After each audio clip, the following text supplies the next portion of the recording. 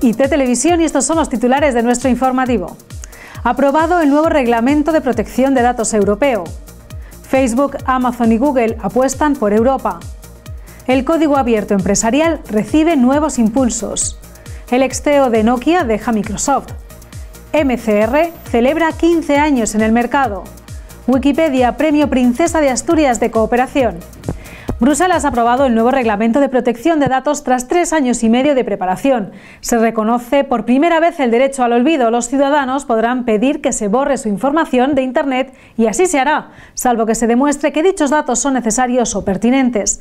Las agencias de protección de datos nacionales cobran mayor poder para multar a las empresas que vulneren las leyes y actuarán como ventanilla única para reclamar sobre los datos, aunque estos estén fuera del país. Las multas para quien incumpla la ley se endurecen, podrán llegar a hasta un máximo de un millón de euros. Otra novedad es la portabilidad de datos. El usuario podrá ahora pedir a un proveedor que extraiga su información para llevárselos a otra red social más segura. La nueva normativa, que ahora pasará por el Parlamento Europeo y el Consejo antes de finales de año, contribuirá al desarrollo de un mercado digital único y reforzará la confianza de los consumidores. Además, eliminará muchos trámites y podrá suponer un ahorro de hasta 2.300 millones de euros al año para las empresas. Facebook está planificando un nuevo centro de datos de 50.000 metros cuadrados en Irlanda. La infraestructura costará unos 200 millones de euros y estará alimentada por energías renovables. Este sería su segundo CPD europeo y el quinto a nivel mundial.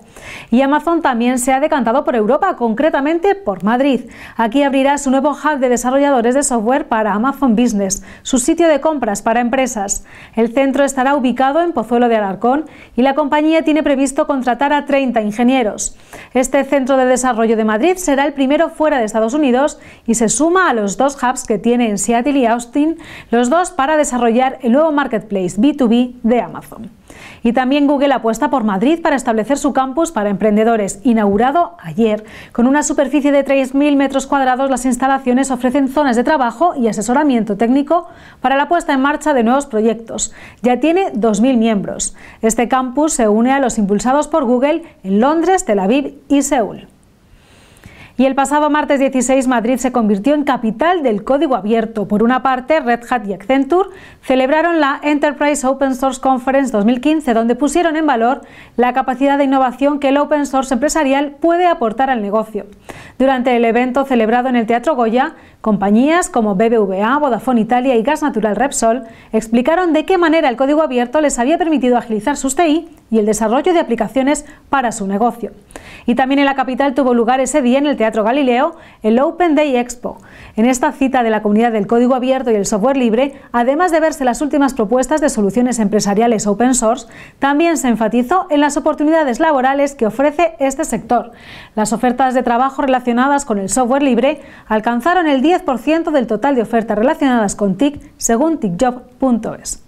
Seguro que una de las iniciativas que contribuye a ello será la de IBM, que quiere convertir el lenguaje de programación Apache Spark en su proyecto de código abierto más importante de la década.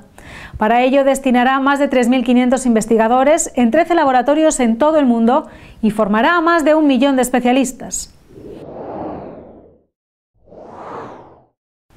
Stephen Elop, ex CEO de Nokia y uno de los nombres que sonaron en su momento para sustituir a Steve Ballmer, ha dejado Microsoft.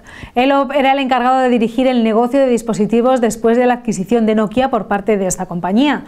Satya Nadella, el actual consejero delegado de Microsoft, ha anunciado también otros cambios en la directiva. Quiere renovar su estructura senior para poner el foco en tres áreas clave: productividad y procesos de negocio, plataformas cloud e informática personal.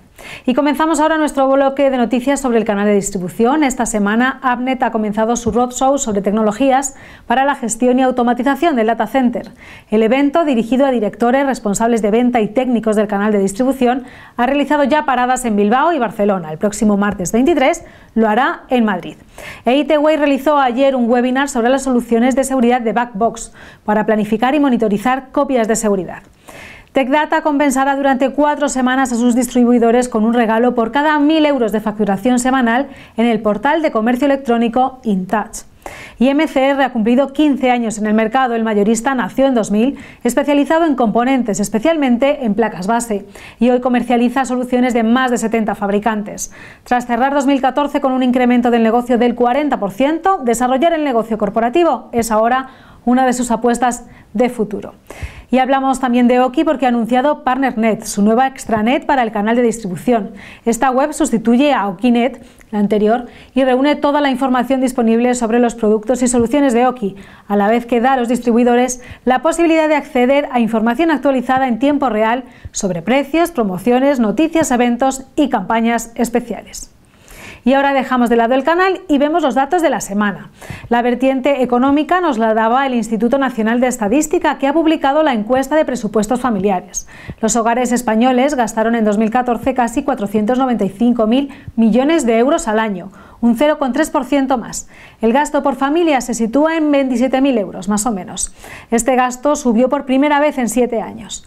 Y el dato tecnológico procede de la Comisión Nacional de los Mercados y la Competencia, que ha cifrado el coste del Servicio Universal de Telecomunicaciones en 21,4 millones de euros. Y ahora damos paso a otras noticias en breves. Hoy se cumplen 50 años de la ley de Moore que dice que los transistores reducirían su coste y aumentarían su rendimiento de manera exponencial. La Wikipedia ha sido reconocida con el Premio Princesa de Asturias a la Cooperación Internacional. Es uno de los 10 sitios más visitados de Internet. Y vuelven a caer las ventas de PCs. Tanto Garner como IDC han señalado esta tendencia a la baja, aunque la inminente llegada de Windows 10 podría hacer repuntar el sector.